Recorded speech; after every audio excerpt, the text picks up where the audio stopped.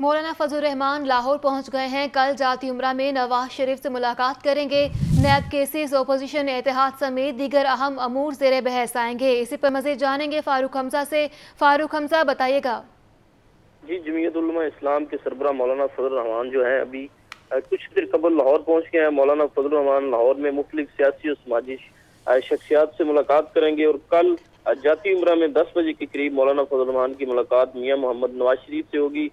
جس ملاقات میں ملک کی موجودہ صورتحال جو ہے، سیاسی صورتحال، اس پر بات چیت کی جائے گی، اس کے ساتھ ساتھ نیب کیسز اور تمام اپوزیشن جماعتوں کی جانب سے جو حکومت کے خلاف الائنس بنانے کی کوشش جاری ہیں، اس حوالے سے بھی معاملات زیر بحث لائے جائیں گے۔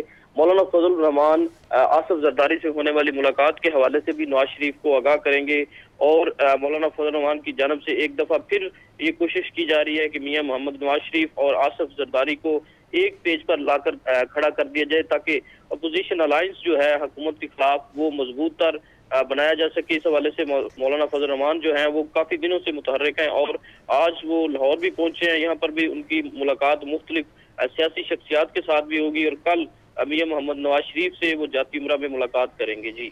مولانا فضل الرحمان لاہور پہنچ گئے ہیں۔ سابق وزیر اعظم نواز شریف سے ملاقات ہوگی۔ بہت شکریہ آپ کا، فاروق حمزہ۔